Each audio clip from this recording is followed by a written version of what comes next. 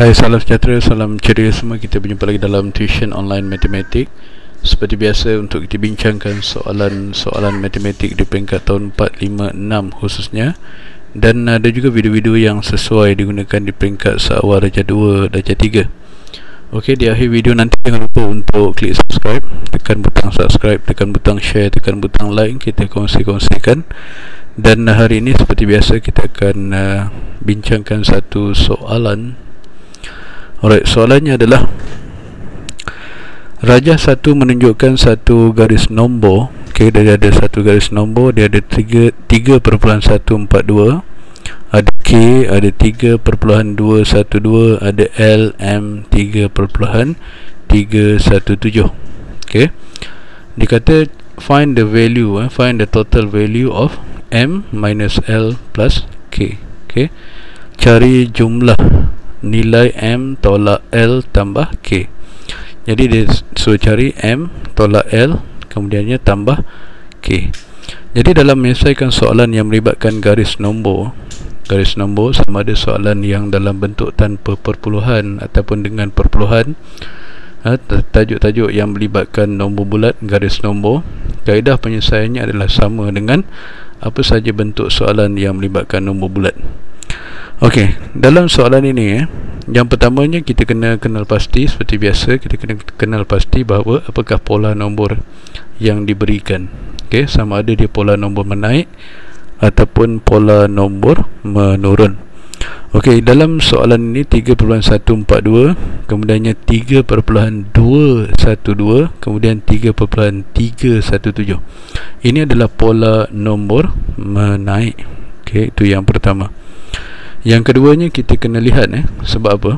Bila dia pola nombor menaik, kita kena kenal pasti bahawa pertambahan untuk daripada satu nombor kepada ke satu nombor yang lain ni berapa.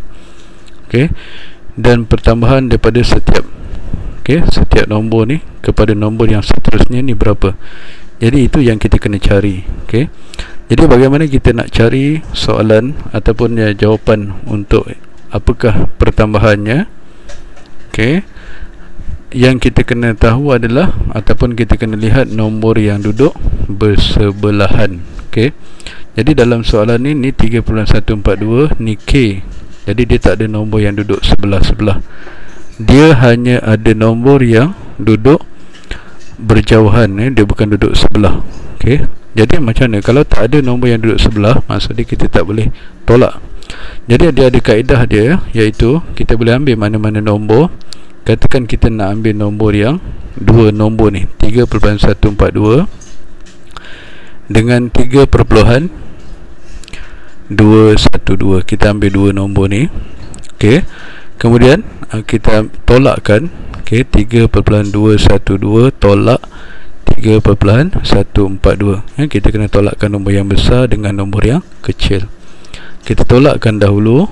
Ok 2 tolak 2 sifar.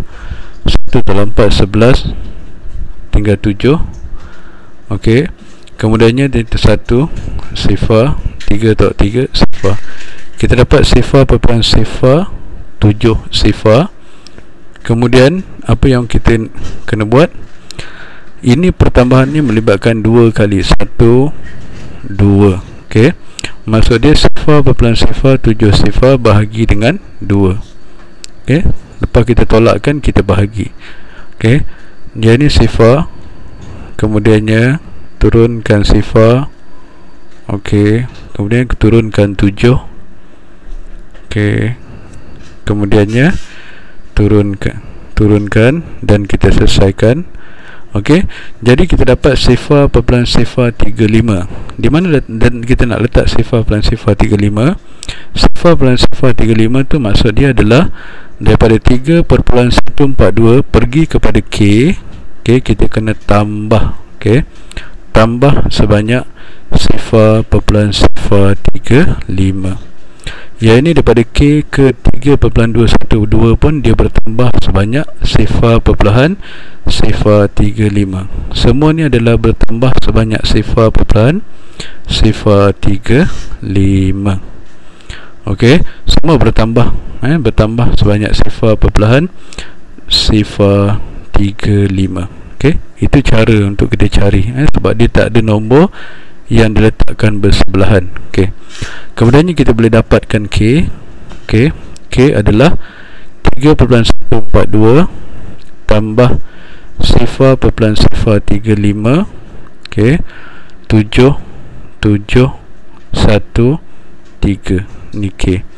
Kemudiannya kita nak cari l. L adalah 3.212 tambah 0.035 okey.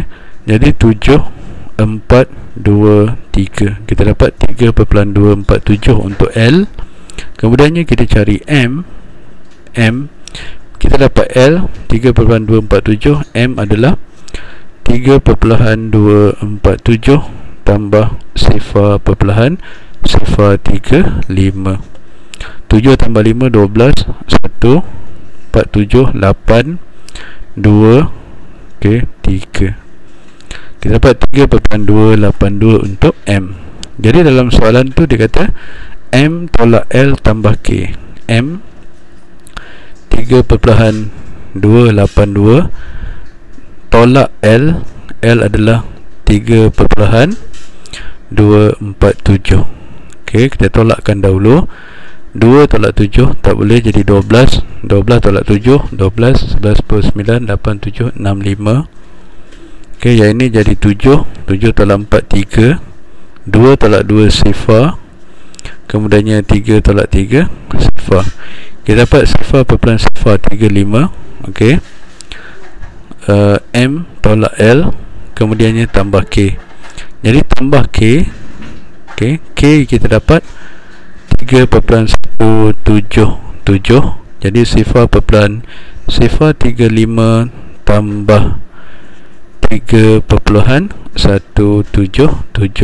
ok 7 tambah 5 12 2 1 10 11 1 1 2 ok 3 kita dapat 3 perpelahan 2 1 2 ok dan dalam pilihan jawapan kalau kita lihat sini ok B adalah pilihan jawapan 3 perpelahan 2 1 2 ok itu kaedah cara untuk kita jawab soalan ni. Apa yang penting adalah yang pasti kena pastikan bahawa soalan yang melibatkan pola nombor okey kita kena cari apakah pertambahan dia okey ataupun kalau pola nombor menurun dia menurun sebanyak berapa pada setiap nombor tersebut. Dan ini kaedah ha, cara untuk kita selesaikan. Okey harap semua boleh faham. Kalau tak faham boleh ulang-ulang balik video ni. Jangan lupa untuk klik subscribe. Tekan butang subscribe tekan butang share tekan butang like. Kita kongsi-kongsikan. Dan uh, jika ada apa-apa pertanyaan persoalan dan sebagainya boleh hubungi saya di nombor yang tertera.